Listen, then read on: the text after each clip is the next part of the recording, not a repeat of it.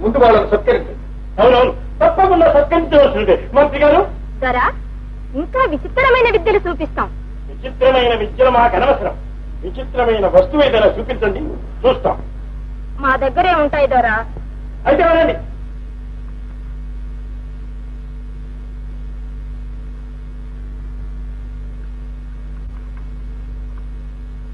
హరి చంద్రసేన విచిత్రపుర రాజ్య గౌరవాన్ని నిలబెట్టాం. ఏం కావాలో కోరుకో. మీ ఆశీర్వచనం అంతకంటే నాకు కావాల్సిందే ఉంది మేము ఆశీర్వదించాలంటే అపూర్వ వస్తువు కావాలనే. ఆ, అన్నట్టు మంత్రి గారు మన చిరంజీవి జన్మదినోత్సవం ఎప్పుడు? చెప్తాం వారం దినాలు ఉంది ఏర్పాట్లన్నీ చేయిస్తున్నారా? అపూర్వ వస్తువు సంపాదించారా? క్షమించండి ప్రభు. ఇదివరకు తాము సేకరించిన విచిత్ర వస్తువుల కన్నా చిత్రమైనది ఏది లభించలేదు ప్రభు? లభించలేదా? అయితే మా చిరంజీవి దీవించడానికి వీల్లేదు. మా దీవెన లేకుండా జన్మదిన మహోత్సవం జరగడానికి వీలేదే జన్మదిన మహోత్సవం జరగకుండా మా చంద్రసేనుడికి వయసు పెరగడానికి వీలేదే వయసు పెరగకుండా ఉండడానికి వీలేదే ఏమైనా సరే విచిత్ర వస్తువు సంపాదించి తీరాలి. మరి ఒకే మాట ఒకే బాణం చెప్తాం ప్రయత్నిస్తూనే ఉన్నాను. దానికోసం రాజ్యం అంతా దండోరాలు వేయిస్తున్నాను ఈ దండోరాలు ఎందుకండి? శుద్ధ దండగా. అటువంటి వస్తువు తెచ్చిన వారికి అర్ధరాజ్యం ఇస్తామని అన్ని దేశాల వారికి తెలియచేయండి. నాన్నగారు మీ ఆశీర్వచనం కంటే అపూర్వ వస్తువు ఘనమైందా? ఘనమో తేలికో మాకు అనవసరం. ఆశీర్వదించాలంటే అపూర్వ వస్తువు ఉండి తీరవలసిందే. మాది ఒకే మాట ఒకే బాణం. నువ్వెవరనుకున్నావు? ఈ చిత్రసేన మహారాజు గారి కుమారుడు. ఆ! చంద్రసేన రాకుమారులు వీరేనమ్మా భువన సుందరి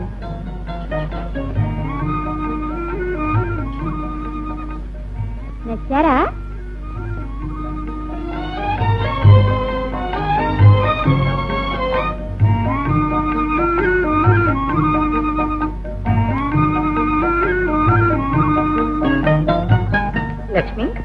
అమ్మాయికి చిత్రపటం చూపించావా ఆ, రాకుమారికి చంద్రసేనుల వారు నచ్చారమ్మా అలాగా!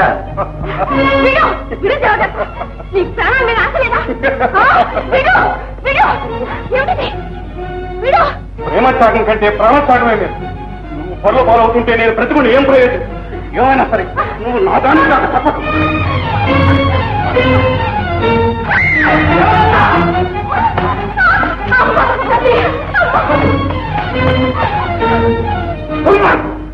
ఇతను బంధించండి.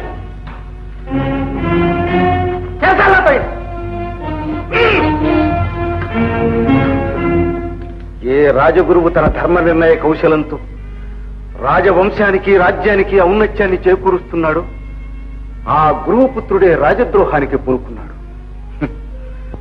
ఎంత వ్యత్యాసం!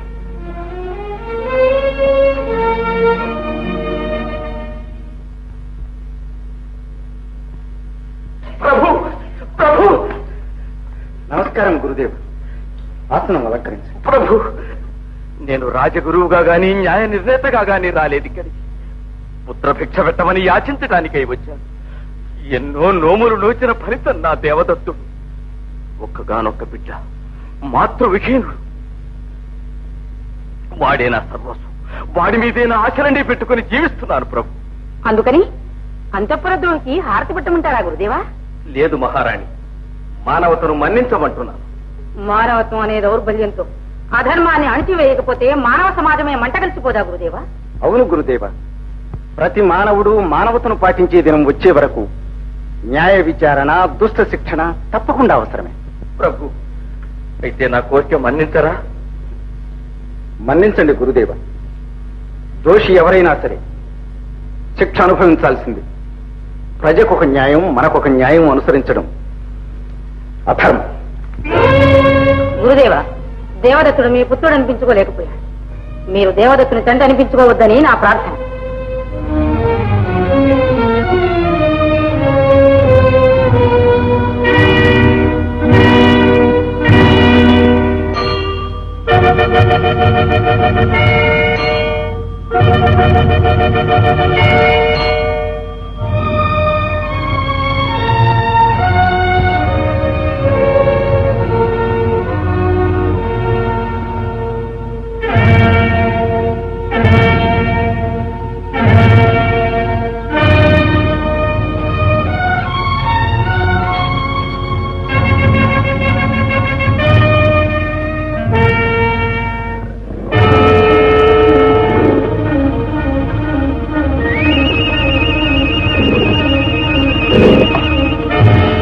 అపరాధులను తీసుకురండి.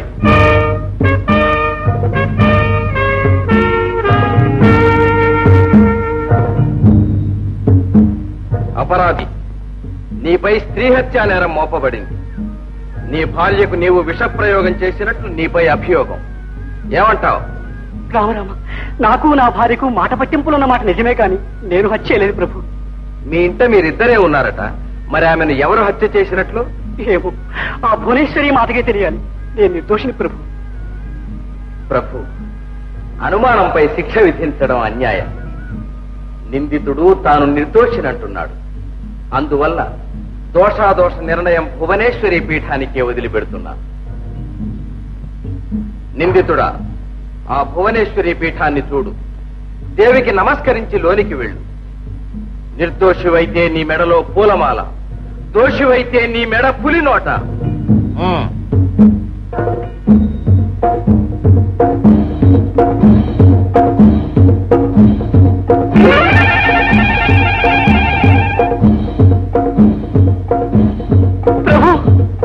ప్రభు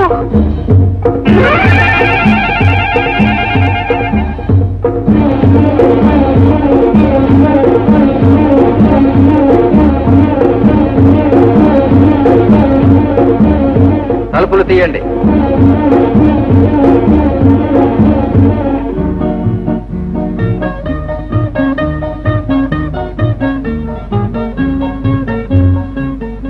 నీవు నిర్దోషి వెళ్ళవచ్చు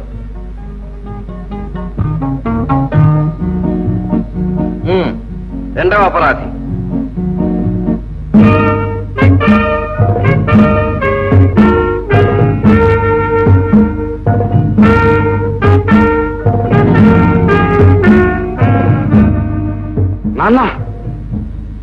నిందితుడా నీపై అంతఃపుర ద్రోహము పరస్త్రీ బలాత్కార నేరము ఆరోపింపబడ్డాయి. నీవేమంటావు? నేను ఆ నేరాలు చేయలేదు. చిన్నప్పటి నుంచి రాకుమారి నేను ఒకటిగా పెరిగాం. నా స్నేహం ప్రేమగా పరిణమించింది. వివాహం ఆడదలిచి ఆ అంగీకారం కోసం ప్రయత్నించాను. రాజ్యాధిపతికి రాణి కావలసిన నా కుమార్తెను ఆశించి బలాత్కరించడం అపరాధం కాదా? ఎన్నటికీ కాదు. బ్రాహ్మణుడు చాతుర్వర్ణముల వారిని వివాహం ఆడడం శాస్త్ర సమ్మతం కన్నిగా ఉన్న రాకుమారిని పెళ్ళాడుకోవడం దోషము కాదు పరస్త్రీ బలాత్కారము కాదు. ఇరువురి వాదనలు సమంజసములే. ప్రభు ఈ విషయంలోనూ ధర్మాధర్మ నిర్ణయం నాకు అసాధ్యమైనందున భువనేశ్వరి పీఠానికే వదిలిపెడుతున్నాను. అవును ప్రజలకొక న్యాయము మనకొక న్యాయమా మహారాజా? నాన్న! అపరాధులు తీసుకెళ్ళండి.